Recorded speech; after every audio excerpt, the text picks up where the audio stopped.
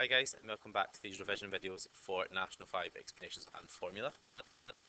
In this video we are going to be looking at significant figures and scientific notation. As before I suggest that you pause the video before I go through the solutions so that you can try them on your own.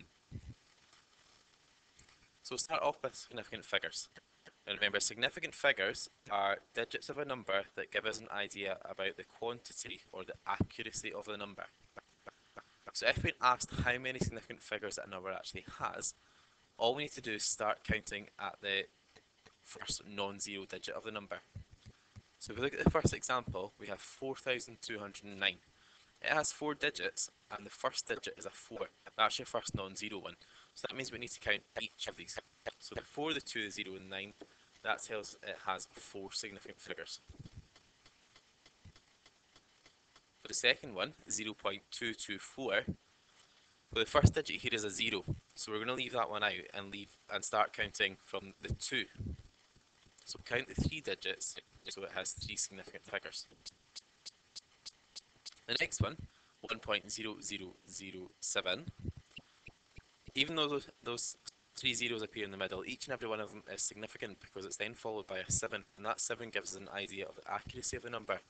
So starting counting at the 1 here, we can see that there are 5 significant figures in this number. Similarly for the last one, we've got 0.0030. We'll start counting at the 3, because that's the first non-zero digit, but then it's immediately followed by another 0, and that 0 in the end does give us an idea about the accuracy of the number. So therefore it's two significant figures here.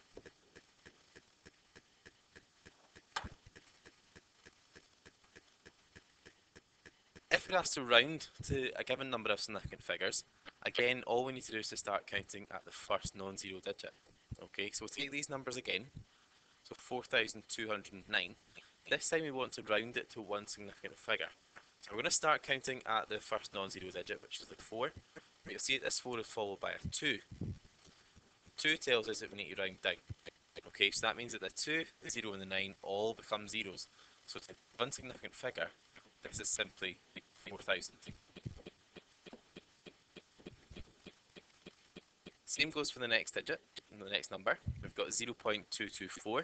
We want this to be two significant figures. So again, we're going to start counting at the first non-zero digit, and that's the 2. Counting two digits from there, we get a number that is followed by a 4, and again the 4 tells us we need to round down.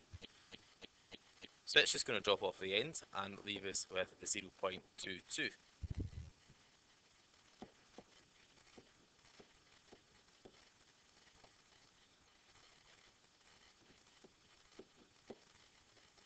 last number we have is 1.0007, and this one we want to four significant figures.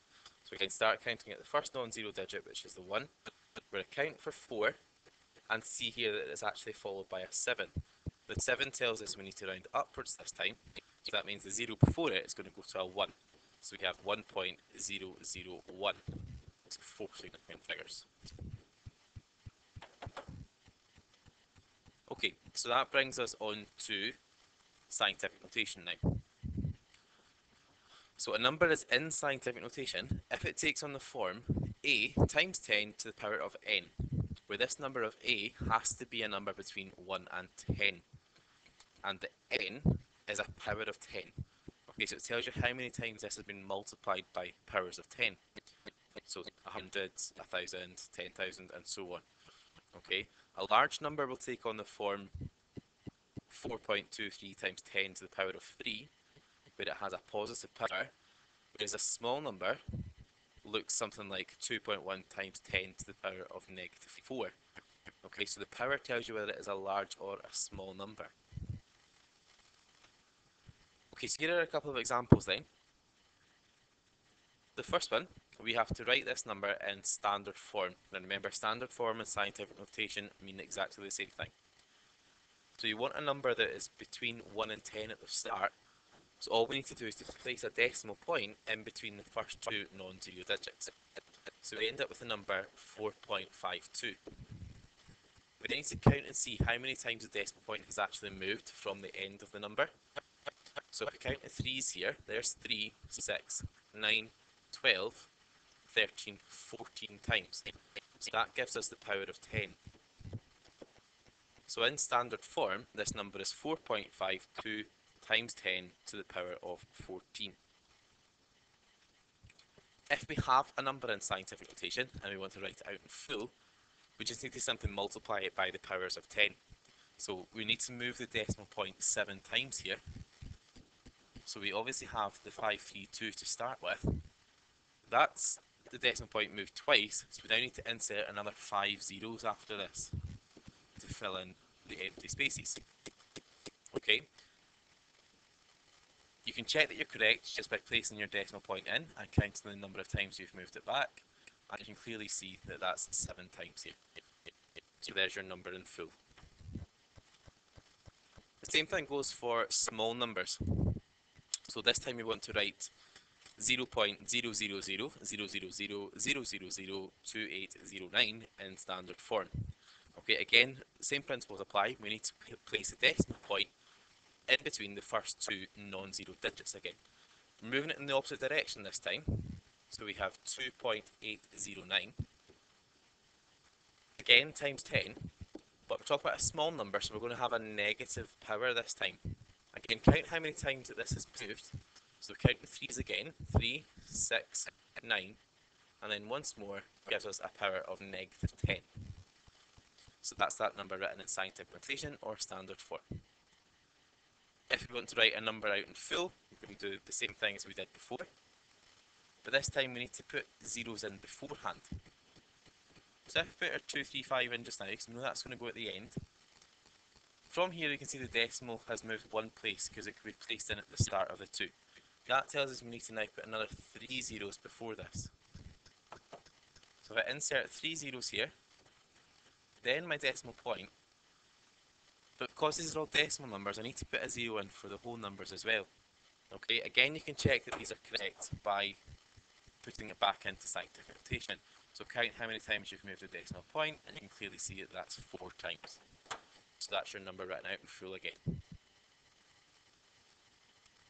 Okay, other things you may be asked to do with scientific notation is to actually do a calculation. So for example, there were 5.3 times 10 to the power of 11 downloads of the UK top 40 songs last week. Each download cost £1.20. What we're looking to do here is to calculate the total paid for these downloads, giving your answer in scientific notation. But it's a fair enough, fairly straightforward calculation we have to do. We have £1.20, we have the number of downloads that were sold, so all we need to do is simply multiply them together. So we have 5.3 times 10 to the power of 11 multiplied by £1.20. Doing this calculation, this is the answer that we end up getting.